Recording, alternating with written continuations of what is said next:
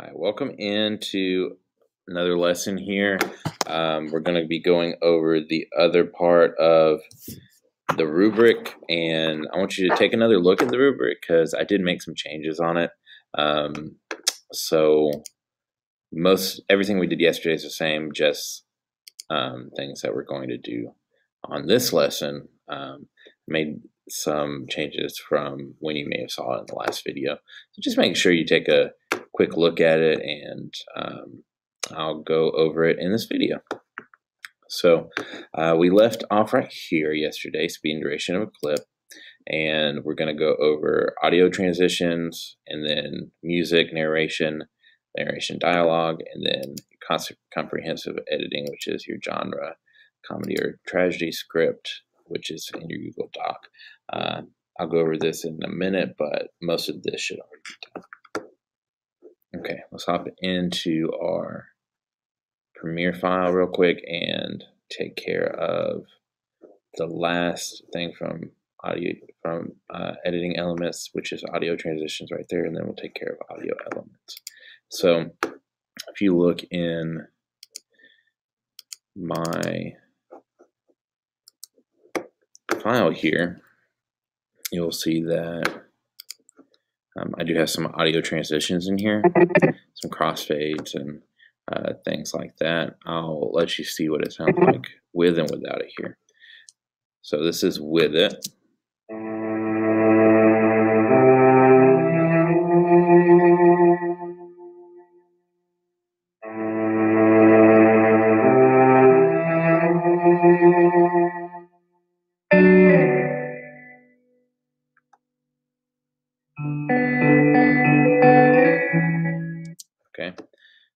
It's kind of smooth and everything like that. This is without any of the audio transitions.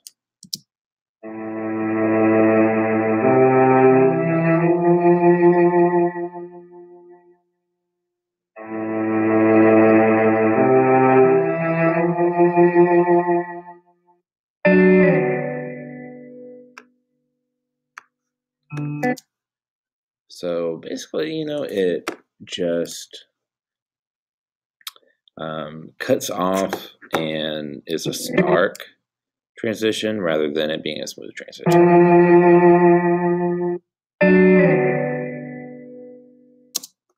So at the least, I do want you to go ahead and put some uh, crossfades on the beginning of it if you only have like one background or whatever. Every time your clip ends on your audio, you need to be having a crossfade out. So if you go to audio transitions, this is in the audio effects uh, bin right here. Uh, constant power is a good place to start. We'll just take it and drag it over to the beginning right there, and it'll now uh, have a more smooth transition in like that. And then instead of having a stark contrast right here, we're going to go ahead and do a audio crossfade right there. And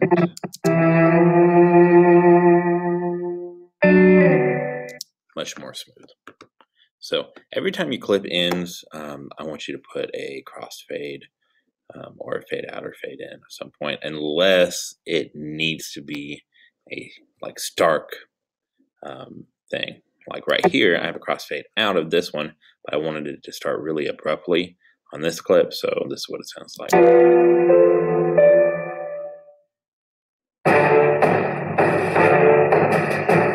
Because it's real percussive and everything like that, I didn't put the crossfade in. I just had it uh, start automatically like that. So that's fine, but everywhere else, um, you're going to want to put a crossfade in there.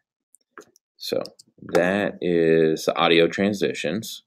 Uh, music, you heard music in mind. This is talking about the background music, so it needs to be appropriate. it needs to be an appropriate level. So I started out with background music. A lot of you started out with dialogue.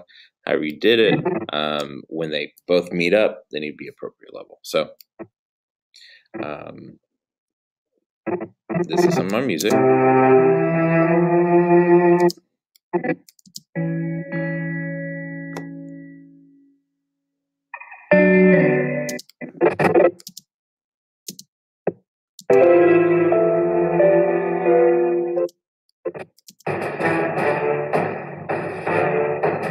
So I used three different songs and um, got it from a library, uh, and it already sounds really good.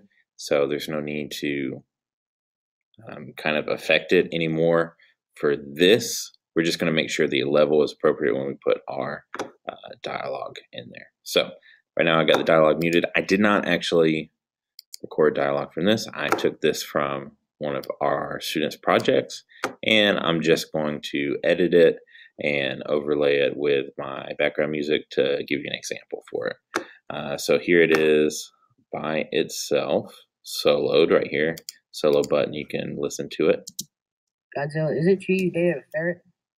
Yeah, about two years ago. Was she ugly? You do not ever say that about her. She was beautiful and I will beat you up. Okay, um, so it's a very interesting uh, subject right there. Um, so you can see on the waveforms here, this is kind of very inconsistent. And most dialogue is going to be. Uh, most dialogue is going to need what is called uh, compression. Uh, so we will put that. If you go over to the essential sound, um, and let's see, you might have to have the clip selected. Yes, um, you want to go ahead and expand this out a little bit. Let's see here, dynamics. Uh, changes the impact of a recording by compressing or expanding the dynamic range of a recording. So um, you want to have that dynamics button pressed and we are going to focus it in because natural did not sound good so we're going to compress it by focusing it in um, and we have a male voice enhance the speech um, we're doing for loudness repair clarity um, it's going to just make our dialogue uh, better. So right now uh, this is compressing it a bit um, and it is a background voice. So that's kind of the EQ that we want. It's gonna, if you select the EQ, it's going to uh, just curve it out a little bit. And let's see what that sounds like. We might not have to put another compressor on it. Um, we'll just, we'll see here. So you can see what this sounds like here. Godzilla, is it true you dated a ferret? Yeah, about two years ago. Was she ugly? You do not ever say that about her. She So that's a lot better. Um, maybe we'll take the focus down just a little bit. It did seem pretty compressed. Godzilla, is it true you dated a ferret? yeah, about two years ago. Was she ugly? You do not ever say that about her. She was beautiful and I will beat you up. Y'all ever kiss? We tried to, but I bit her face off. Okay. Anyways, um, so that is probably a good level for that. Um, we'll get into more expansive um, editing for audio later, but just for a quick dialogue, that's fine. And then we just want to make sure that that is good level with our background music. So we are going to have